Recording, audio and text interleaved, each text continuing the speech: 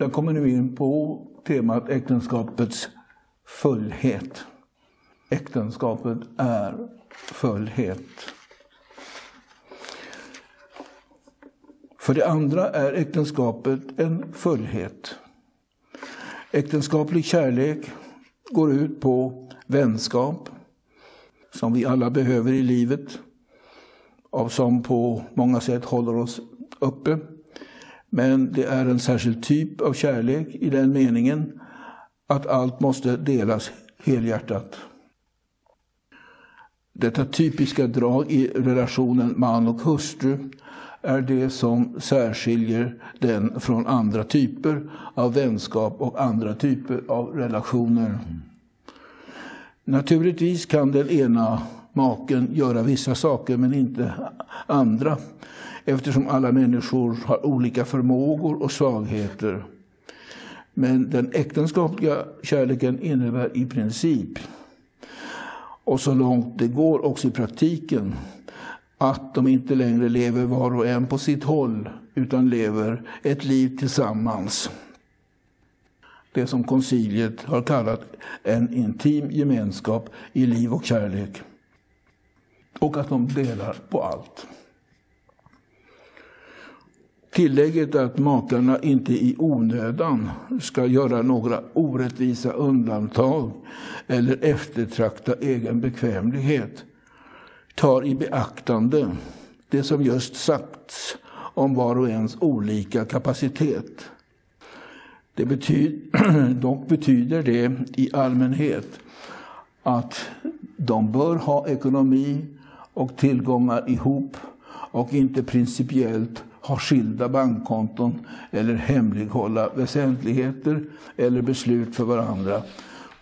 Undantaget sådana ovanliga förhållanden där en av makarna ständigt visar sig ha svårt för att sköta sin ekonomi och den andra måste lägga undan för att klara av räkningar. Men hela tiden med tanke på att familjen som familj vinner på det och inte för privata eller egoistiska självändamål.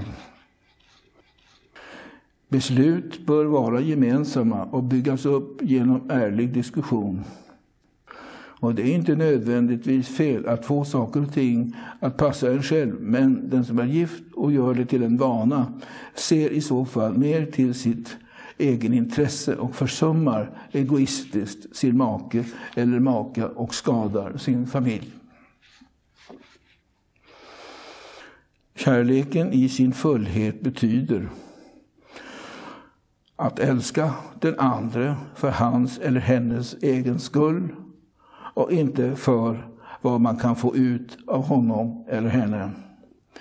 Makan eller maken är som person värdefull i sig själv och kan inte bara reduceras till ett medel för att uppnå något annat gott.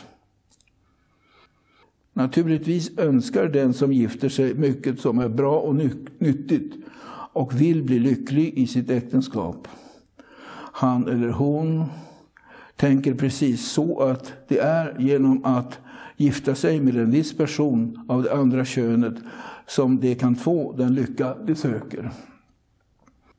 Kärleken är i den meningen inte bara orienterad mot den andra eller altruistisk utan varje brud och brudgum längtar också efter det som bara denna kärlek kan ge.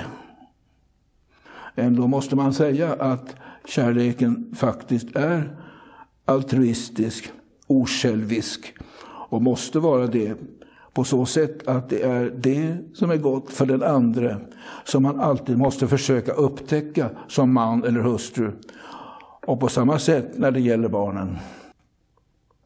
Under årens lopp måste man ha viljan att offra offra mycket för den man älskar.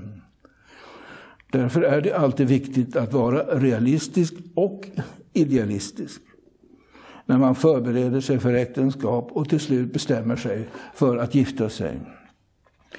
Man får inte fästa sig bara vid de drag hos den andra som man lätt tycker om. Lika viktigt är det att förstå att det som kan irritera hos den andra och kunna väga för och emot. I det fall när ett par verkligen älskar varandra vilar deras kärlek inte på illusioner eller brist på, på självkunskap utan är en kärlek till personen sådan han eller hon faktiskt är. Trots svårigheter eller karaktärsbrister som alltid finns hos människan.